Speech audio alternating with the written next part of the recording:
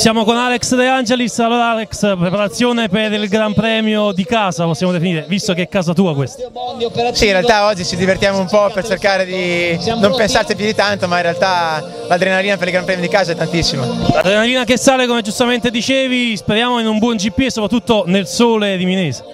Ma io in realtà domenica spererei in qualche goccia come domenica scorsa che almeno possiamo provare ad andare a punti, però ovviamente per il pubblico di casa se c'è il sole è sicuramente meglio. E propositi per il finale di stagione? Ma stiamo lavorando con Aprilia per cercare di avere una moto migliore per finire la stagione proprio da Aragon. Speriamo di trovare l'accordo perché per me sarebbe veramente importante riuscire a fare qualche risultato in più. Grazie Alex.